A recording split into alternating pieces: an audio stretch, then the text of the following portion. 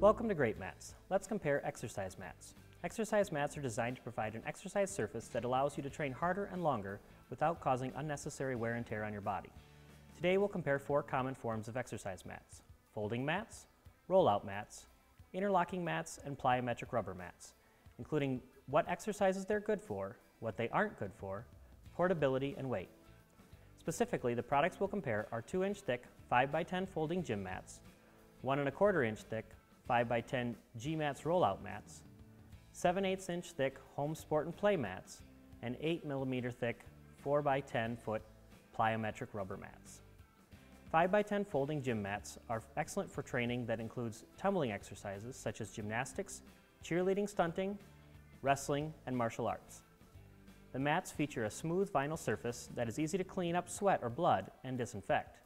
They are also soft enough to protect your body from the pressure of hard floors during exercises such as sit-ups, handstand push-ups, or somersaults. Hook and loop connector strips allow them to stay in place over carpet or connect multiple mats together for a larger exercise surface. Folding mats are not designed for start and stop running or weight training style exercises. G-Mats rollout mats are designed for wrestling and martial arts such as judo and jiu-jitsu, as well as P90X style fitness programs. They offer a similar hardness to that of folding mats and also have a vinyl cover. The surface on this mat, however, has a tatami texture that offers a little more grip than the smooth folding mats. There are also no seams, lessening the risk of injury to fingers and toes. The cross-linked polyethylene foam base grips carpeting well to prevent shifting. Rollout mats should not be used outdoors as the bottom foam is unprotected. Home sport and play mats are puzzle-style interlocking foam exercise mats intended for home gyms and striking martial arts, such as taekwondo, karate, boxing, or kickboxing. The modular nature of this exercise mat allows you more design possibilities.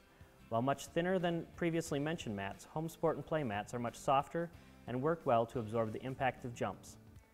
They are also designed to prevent scuffing from shoes and boots. The lightweight nature of home sport and play mats will allow smaller installations to shift unless butted against a wall or framed in. Plyometric rubber exercise mats are meant for aerobic exercises, plyometric drills, and intense circuit training and can be used for weight training. These are the most durable of the four exercise mats and are guaranteed for five years.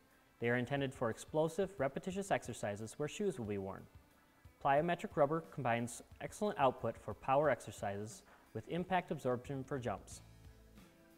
The recycled rubber material also provides the best grip of the four when used in combination with athletic shoes, making changing directions easy. Thanks for watching. Now go out and be great.